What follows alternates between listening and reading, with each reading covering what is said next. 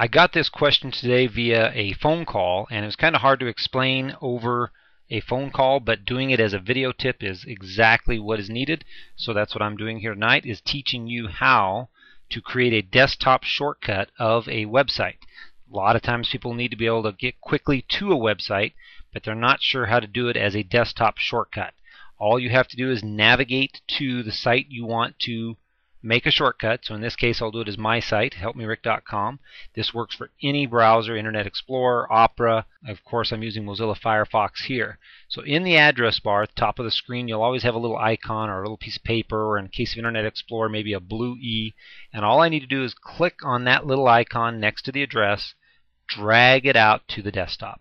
Once I release it on the desktop, it creates a shortcut to that website. Let's do that again. Let's go to eBay.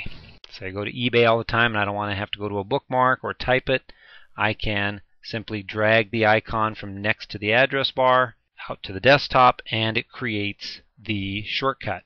Now once it gets on the desktop, if it has a long name because it uses the title from the website, you can shorten that by just right clicking, choosing rename, type in the new name, and hit enter on your keyboard. So I'm going to do that again on this icon. I'm going to right click, rename, type in the new name, hit enter. So that's all there is to creating a shortcut on your desktop for a website that you visit often quicker than ever.